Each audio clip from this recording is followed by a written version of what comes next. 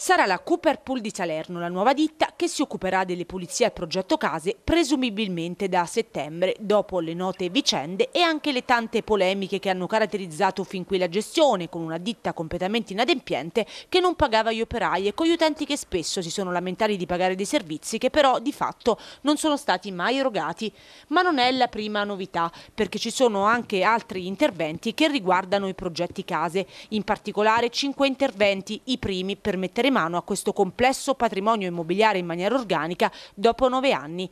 In particolare alcuni interventi sono già stati eseguiti. Paganica, Gignano, Copito 3, Sassa, Sant'Antonio e Bazzano. Si è trattato principalmente di piccoli lavori per riparare delle infiltrazioni, per mettere in sicurezza le scale condominiali, per realizzare anche l'impermeabilizzazione delle coperture o semplicemente per riparare tapparelle danneggiate. L'amministrazione con i fondi a disposizione ha ritenuto di portare avanti subito i lavori più urgenti, anche anche in alcuni map.